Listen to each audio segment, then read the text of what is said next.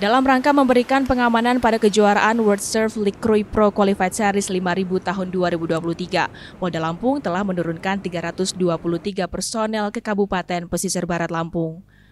Petugas yang disiagakan untuk memastikan keamanan bagi 294 peserta dari 14 negara, wisatawan, dan juga warga sekitar selama berlangsungnya acara ini.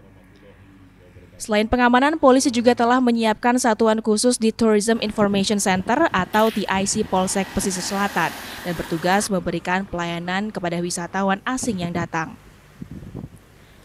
Tidak hanya itu, kepolisian juga telah memasang 16 titik CCTV di sekitar area kejuaraan untuk mendeteksi dan merekam jika terjadi tindak kejahatan selama World Surf League berlangsung.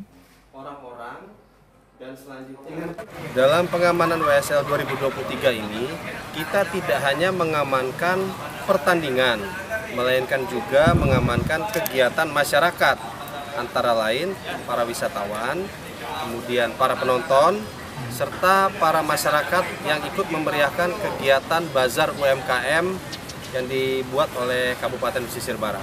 Juga polisi pariwisata, objek vital, lalu lintas, BRIMOB yang memiliki kualifikasi J-BOM, One Terror, serta satu koton Dalmas apabila yang standby sifatnya apabila terjadi hal-hal yang membutuhkan penanganan pengendalian huru hara.